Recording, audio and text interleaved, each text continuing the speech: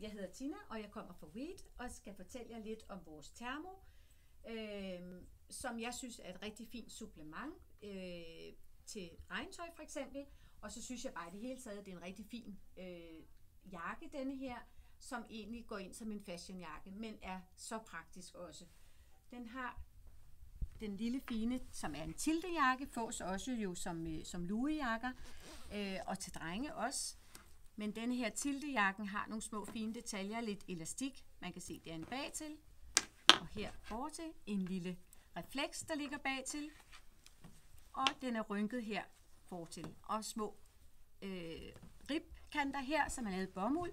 Der hører til, bukser til. Det kan købes separat, så ønsker man ikke bukserne, kan man købe jakken som en lille fashionjakke, som sagt.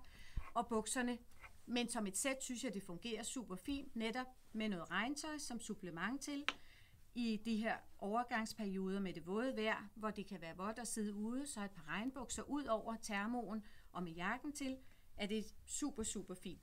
Det er lavet i recycle polyester, så det, og det er åndbart det her, og så har det en vandafvisende funktion. Det står på tøjet her, det er ikke vandtæt, men det er vandafvisende.